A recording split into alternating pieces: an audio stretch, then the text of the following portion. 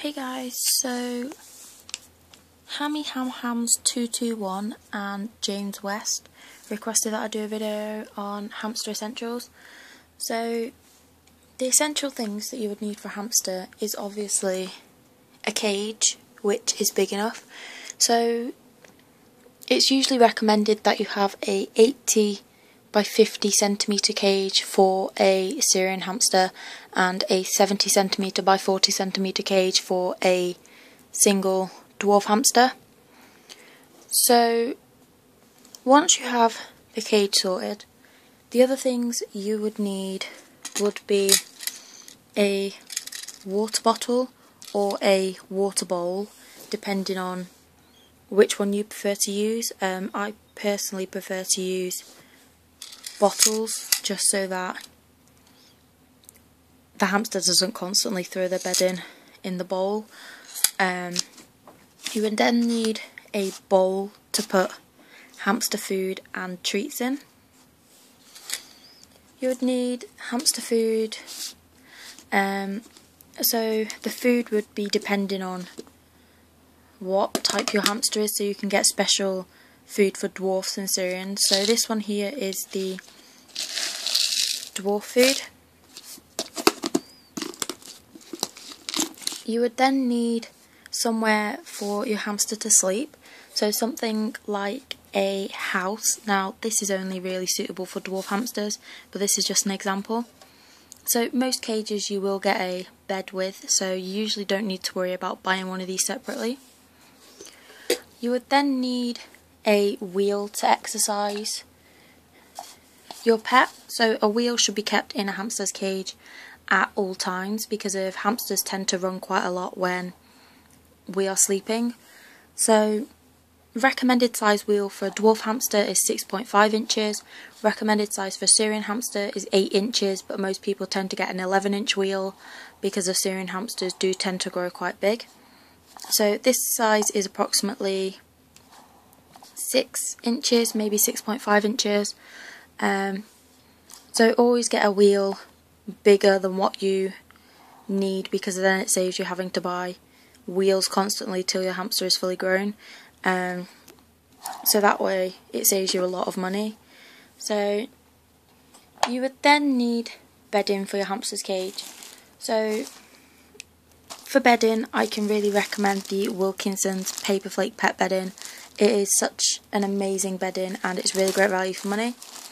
So please do not use the fluffy wool bedding because of that is bad for hamsters and it is not safe. So please stick to the sort of paper based pet beddings because of wool can cause a lot of problems with hamsters. It can get wrapped around their legs and it can cut off the blood circulation and if hamsters swallow it they can't digest it which means it can cause them to pass away or something.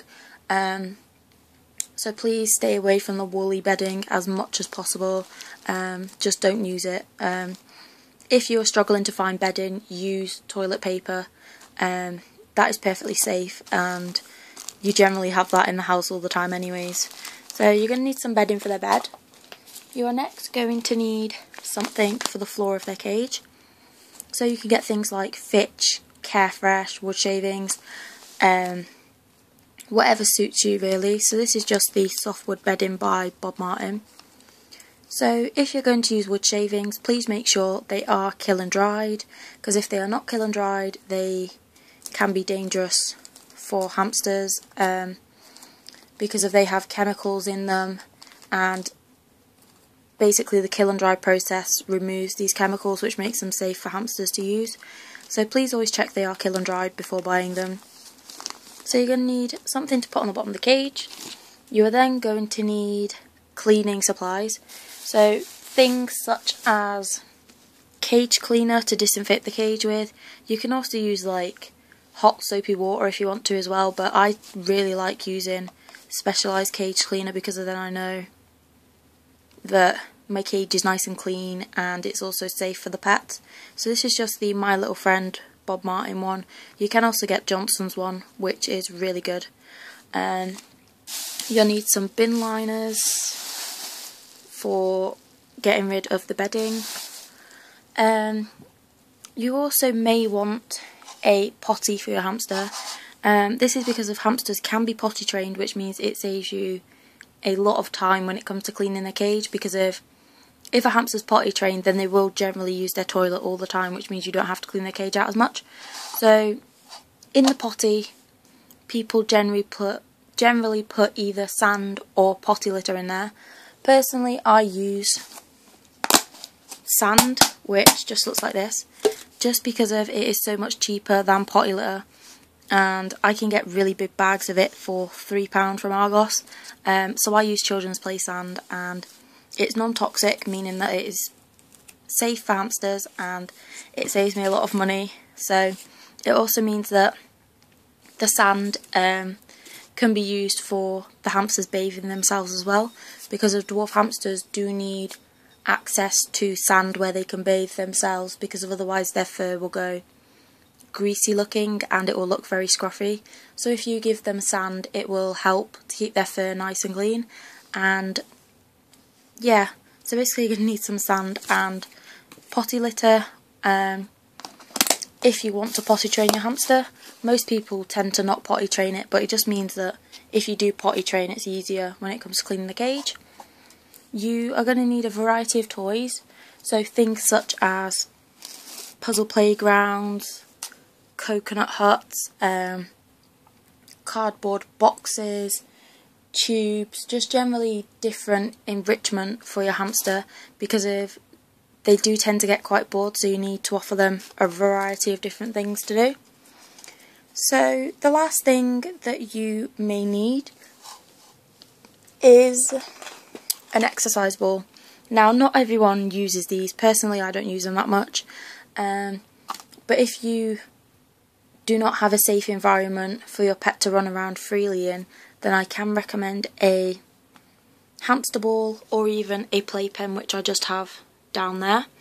Um, just so that your pet can run around safely within your bedroom or your house just so that they can't get into any holes which there may be, say like in the floorboards and yeah um, so I can either recommend the ball or the playpen, both are pretty good. Um, the last thing that I can recommend is treats. So I have like a ton of treats all down there for the pets. Um, now you can either make your own treats or buy them from a shop. I do like to make my own treats but it can be like quite expensive sometimes when you constantly make your own treats. So a variety of treats such as dog biscuits, um, just a varied sort of treats really. Dog biscuits are really good for keeping hamsters' teeth down. Um, and then you have obviously treats such as yogurt drops which is designed for hamsters. Um, you have so many different treats out there but one thing you have to make sure is if you buy dog treats or cat treats for your hamster you have to make sure they do not have any garlics, onions, um, or spices in them because if they are bad for hamsters. So you have to make sure they don't have anything like that in them before buying them. But most dog and cat treats are suitable for hamsters. Um, also, you should check on the back of the packets um, of treats which are sold for hamsters because of some of the time they tend to contain things which aren't suitable for hamsters and basically the people who have made them haven't really done their research so always check the back of the packets when buying treats because of I know a lot of people who've bought treats for rabbits and the treats aren't safe for rabbits so they've had to like throw them away which is a waste of money really. So always check the packets for treats.